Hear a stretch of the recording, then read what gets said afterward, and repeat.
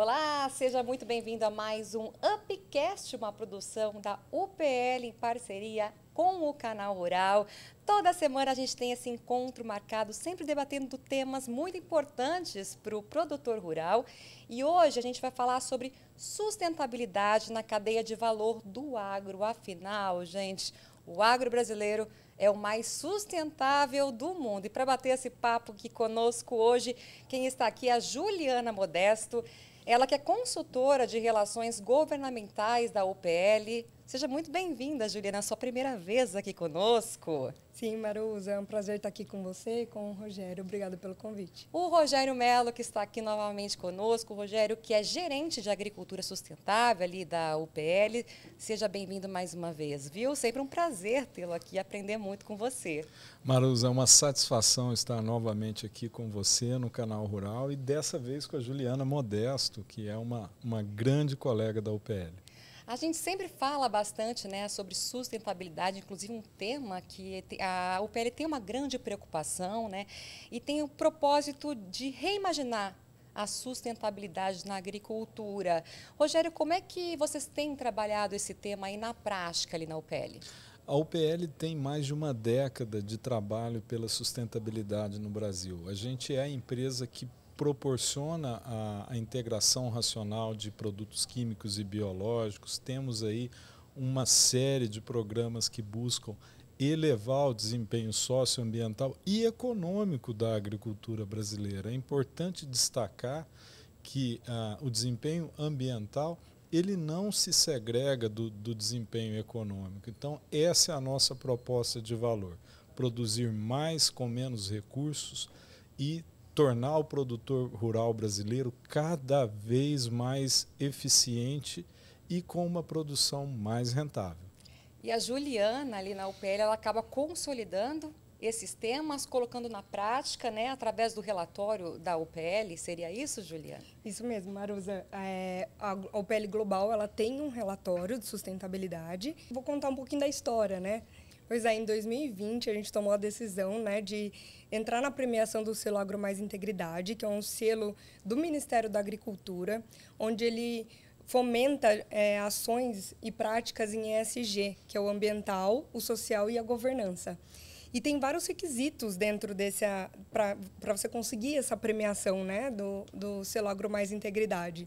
E aí a gente fez isso em 2020. Quando a gente olhou para dentro de casa, a gente tinha vastos projetos maravilhosos de sustentabilidade no social, na governança, e a gente falou, a gente precisa colocar isso num reporte local. E aí você liderou esses trabalhos para a elaboração desse reporte? Exato, com toda a equipe da UPL, era, foi em conjunto, foi um trabalho de time né, de todas as áreas, a gente compilou tudo isso e colocou no reporte de 2022-23. E como é que foi isso, né? Acredito que você tem encontrado vários desafios aí no caminho para elaborar esse primeiro relatório. Com certeza, Maruza. O primeiro desafio que a gente encontrou foi é, conscientizar os colaboradores da UPL que as atividades que eles já faziam no dia a dia, que já, tão, que já estavam no DNA deles, podiam contemplar no relatório de sustentabilidade, e isso era um destaque, né? eram destaques que poderiam é, estar dentro do relatório. Ou seja, as práticas já eram sustentáveis. Exato, tá? Eu, eu falo muito que estava já no nosso DNA e eles não sabiam que estava no escopo de ESG da UPL. Então, esse foi o principal desafio. E, e, como colega, né, como uma pessoa que está dentro da, da UPL, eu posso dar o testemunho do quanto a curadoria desse nosso time de, de relações institucionais foi fantástico para fazer um relatório muito interessante, né, que conseguiu ter a felicidade de consolidar todas essas práticas socioambientais positivas da, da UPL dentro de um, de um relato muito honesto, muito íntegro e muito conciso, uma leitura muito bacana. Eu acho que esse foi o, o, grande mote desse trabalho da, da, Juliana e de todo o nosso time de, de relações institucionais. Na prática, o que a gente pode dizer que, é, que, que vai, para que, que vai servir esse reporte? Por que, que ele vai ser importante? Na prática, a gente vai colocar anualmente, né? A gente vai mostrar toda a nossa evolução de todas as notas, das nossas metas, os nossos projetos. Isso vai dar mais transparência para os nossos stakeholders, para a sociedade, para o agricultor. Então, isso é muito importante. É, como empresa que tem o propósito reimaginar a sustentabilidade no agro, a gente tem um compromisso de melhoria contínua. E todos os anos a gente tem novas missões, a gente tem as evoluções. Esse time da, da Juliana e das relações institucionais da UPL tem o papel de fazer o registro dos nossos avanços e contribuir para essa autocrítica, para esse crescimento rumo a um, um agronegócio brasileiro cada vez mais sustentável, cada vez mais eficiente. Como é que vocês têm se comunicado com esse público geral, esse público que, que essas partes interessadas? A UPL ela tem um, um, modo de atuar que a gente chama o modo OpenEG, né, que é de rede aberta de comunicação. Então a gente escuta as dores do agricultor e transforma isso em soluções para o agricultor. Então, além desse OpenEG, né, que a gente desse modo de atuar OpenEG, a gente também trabalhou muito forte em fazer nosso relatório com base na nossa matriz de materialidade. Para a elaboração dessa matriz de materialidade, a gente ouviu mais de 200 partes interessadas e aí o que a gente perguntou para eles, né, quais temas eles gostariam que a UPL trabalhasse em ESG. Com, com essa pergunta, a gente cruzou os temas que eles julgaram que era de interesse para a UPL trabalhar e os temas relevantes para a UPL colocamos isso dentro de uma, uma matriz e definimos as ações e os próximos temas para os próximos anos da UPL. Quais são os temas? Fiquei curiosa. já pode dar um spoiler para a gente? Já, já. Eu vou dar alguns. É, na parte ambiental, agricultura sustentável e práticas regenerativas. Na parte social, a gente tem o programa de diversidade e inclusão. E em governança, o programa de compliance ética. Muito bacana, gente. E agora, qualquer pessoa pode acessar esse relatório? Isso. Vocês conseguem ver todo o detalhamento dessa matriz de materialidade, todos esses temas. Ele fica num site? Dentro do relatório de sustentabilidade no site da UPL. A gente vai deixar aqui o link, o QR Code, ah, para vocês deixar, poderem então, acessar. Quem quiser, vamos deixar então aqui na, na tela para acessar o relatório de vocês. Né? Muito bacana. Vamos falar de descarbonização da agricultura, tema que o Rogério gosta bastante de conversar com a gente. A gente tem muito se falado sobre isso, né, Rogério? Muito importante. Quais são as principais frentes eh, da UPL nesse sentido?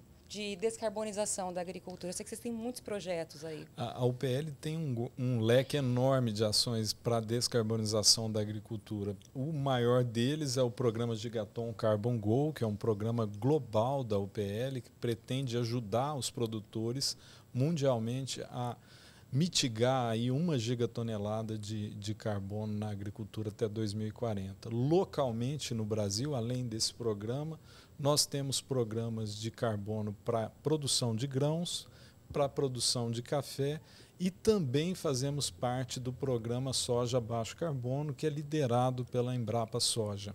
Vamos destacar cada um deles? A gente começa com o Gigaton Carbon Go. É até 2040?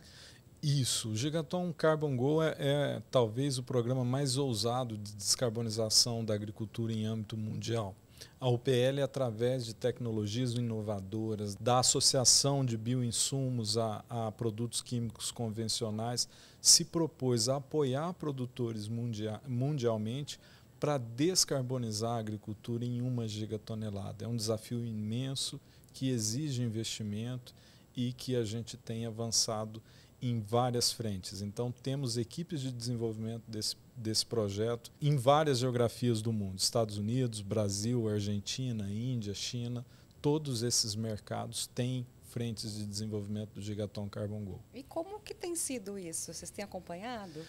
Sim, sim. Esse, esse é um programa que demanda um, um investimento e um monitoramento constante tanto que os nossos programas do Brasil para descarbonização da, da cadeia da soja, da descarbonização da cadeia do café, integram essas ações do, do Gigaton Carbon Go. Vamos falar desse de grãos? Tem um programa, então? Sim, sim. A gente tem um programa para descarbonização da produção de grãos que é desenvolvido em dois polos, um no Mato Grosso e outro em Goiás, com mais de 17 mil hectares monitorados e que a gente já vai para o terceiro ano de desenvolvimento. Uma outra frente muito interessante é a frente do café. A gente tem monitorado as boas práticas de produção é, da cadeia de cafeicultura do Brasil É, e a gente já tem mapeado até produtores que conseguiram, além de ser carbono neutro, conseguiram produzir o que a gente chama de café carbono negativo. Um café que mais sequestra carbono de, da atmosfera do que emite. Isso é a prova definitiva que a agricultura pode fazer parte da solução e não dos problemas da agenda climática. Vocês pretendem levar isso para frente? Com certeza. Eu, pessoalmente, tenho um carinho muito especial pela cadeia do café. É uma cadeia essencialmente familiar. Nela, o Brasil é hegemônico há mais de 100 anos, gente. Há mais de 100 anos, o Brasil é o maior exportador e produtor de café do mundo isso tudo feito dentro de um contexto de agricultura que é essencialmente familiar. Ter excelência na qualidade, na produtividade e sustentabilidade dessa cadeia é para nós uma prioridade e é um trabalho fantástico. É, e somos líderes também em cafés certificados, né? Juliana. Cafezinho já é gostoso, já né? É. Cafezinho sustentável, então, acho que é um diferencial. Pois é, é, é, diferencial, realmente. Muito bacana esse projeto e que, que a gente que consiga crescer, né? Isso é importante aí na cadeia do café, nos grãos e também no, no grão de café agora também, né? Rogério, você falou também daquele programa Soja Baixo Carbono da Embrapa, né? Sim, esse, esse é, o maior é o maior programa de descarbonização da, da agricultura brasileira. Na verdade, é uma grande coalizão sob a liderança técnica da, da Embrapa Soja, que pretende criar uma certificação para soja produzida no Brasil com baixos é, níveis de emissão é, de carbono.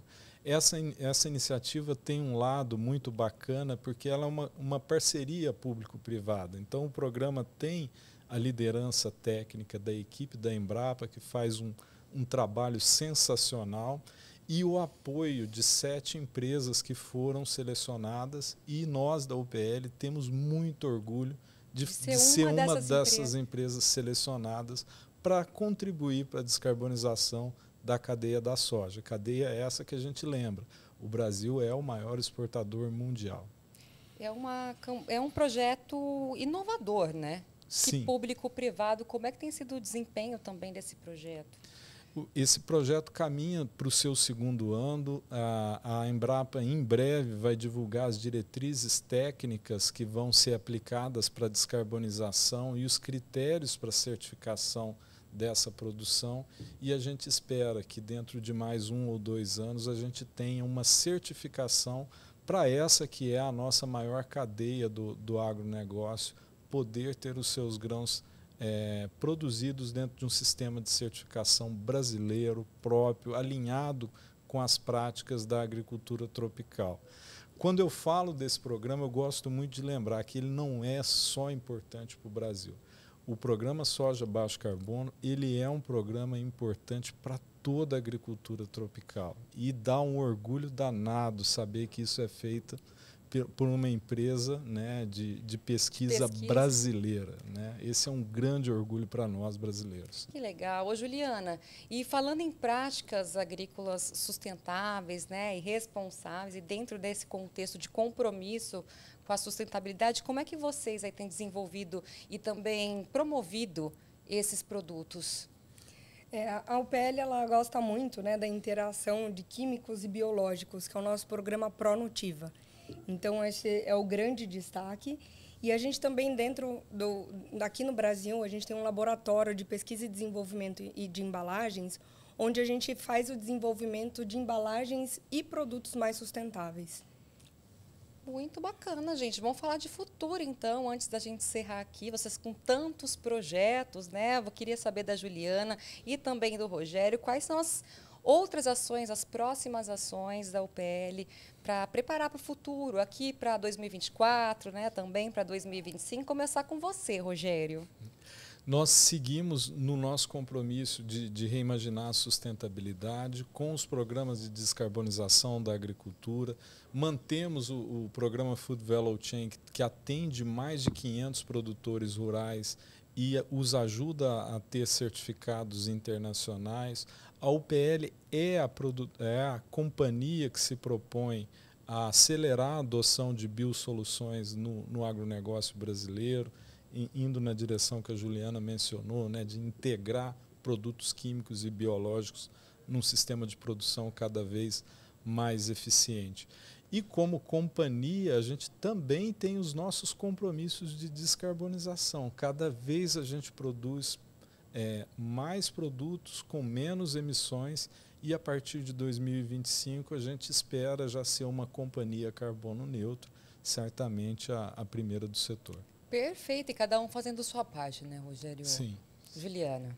Nós vamos continuar reportando nossas estratégias de sustentabilidade dentro do reporte de sustentabilidade local, de maneira transparente, eficaz e muito de fácil acesso para o agricultor e para todas as nossas partes interessadas. Lembrando, vamos colocar aqui, ó, o QR Code e o link para quem estiver nos acompanhando poder acessar este primeiro relatório. É isso, né? Isso mesmo. Muito obrigada pela participação, Juliana. Muito obrigada. Volte sempre, viu, Rogério? Sempre muito bem, muito bom tê-lo aqui conosco. Obrigada, volte sempre. A satisfação é nossa, Marusa. E até a próxima. E o nosso Upcast de hoje, então, vai ficando por aqui. A gente volta na próxima semana com mais bate-papo para você. Até lá, então. Tchau, tchau.